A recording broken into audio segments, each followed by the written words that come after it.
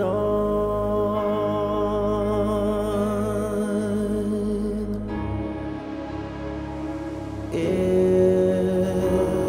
be okay. Hold on.